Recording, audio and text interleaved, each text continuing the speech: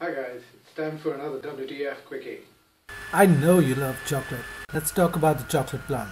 Not that plant. This is the most well known plant all over the planet. This is the fruit, and here are the magical chocolate seeds. That's where chocolate cakes, brownies, and ice creams come from. You can make some homemade chocolate and pour it all over your fruit. With today's technology, you also have 3D printed chocolate. Chocolate is known to raise your serotonin level. All women love chocolate. Unfortunately, chocolate has milk, and milk is not good for humans. There are a lot of pus cells in a cow's milk, and the cow has four stomachs to digest that. Humans have only one stomach. Women begin lactating after having a baby. Imagine the baby taken away and the milk sold for another man's profit. Let's get back to chocolate.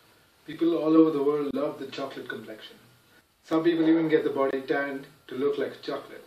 This man encourages Indians to be pale. He looked fine years ago and then he turned vanilla.